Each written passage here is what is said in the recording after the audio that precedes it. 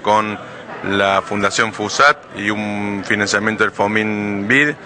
eh, que financia FUSAT y de ahí nosotros hemos hecho un convenio con esas dos partes que lo vamos a, poner en marcha hoy, a firmar hoy, en minutos nomás. Eh, la idea es, dentro del programa PPP, que tiene un cupo de 500 eh,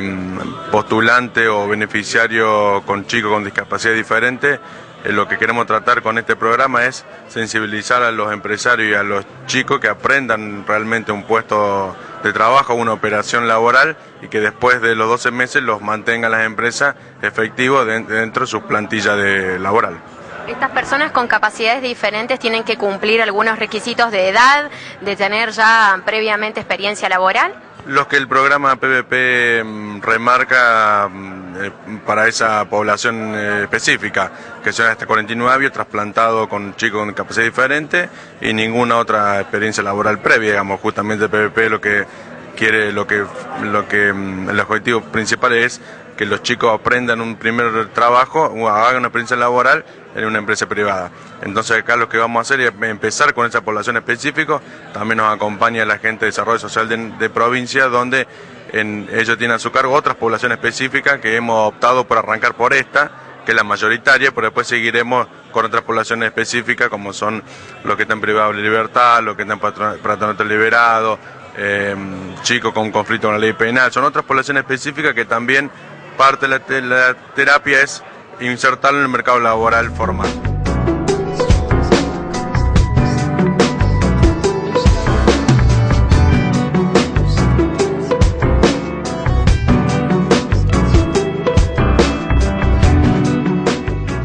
Banco Interamericano de Desarrollo tiene un fondo que es el Fondo Multilateral de Inversiones,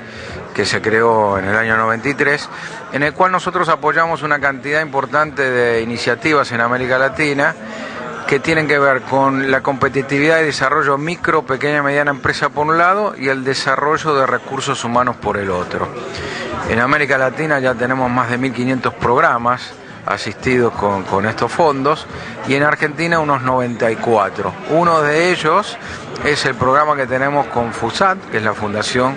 este, de Buenos Aires, en la cual tenemos un programa vinculado a incorporación de capacitación incorporación de gente discapacitada a trabajos,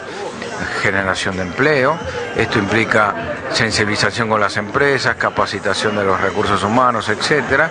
Y con ese proyecto estamos llegando a Córdoba de la mano de la agencia. Entonces, lo que hoy se trata es de firmar un acuerdo con la agencia e instalar el programa aquí en Córdoba que tenemos muchas expectativas porque ya vienen trabajando y muy bien, entonces vamos a sumar esfuerzos. Nosotros normalmente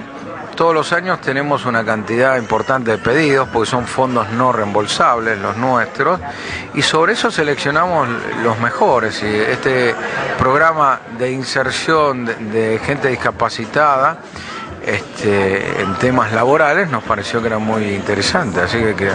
frente a otras propuestas nos pareció que esta muy buena. Yo represento una fundación que tiene 12 años de trabajo en otros temas, salud seguridad, gestión de recursos humanos, y ahora estamos en un proyecto que es, resumiéndolo, tratar de insertar personas con discapacidad en, en el empleo, en el trabajo, vistos no desde el lado de su discapacidad, sino al revés determinando qué cargos necesita una empresa o un gobierno, viendo qué condiciones tiene que tener para ocupar ese cargo y ver si hay alguna persona que tenga problemas de discapacidad que pueda tener la capacidad para ese cargo. En algunos casos se ha visto que personas con alguna discapacidad son más capaces para eh, cumplir algunas funciones, como por ejemplo personas no videntes para la industria de perfumería o para la industria vitivinícola. O sea que vemos la inserción de la discapacidad al revés por el lado de la capacidad. Estamos en Córdoba porque eh, tuvimos una reunión un poco fortuita, nos dimos cuenta que esta agencia está trabajando eh, mucho y que podíamos ser útiles, ellos también piensan que nosotros podemos aportar y en realidad estamos muy motivados, empezamos hoy. Es un proyecto bastante artesanal, para llamarlo de alguna forma, porque las discapacidades son distintas, las,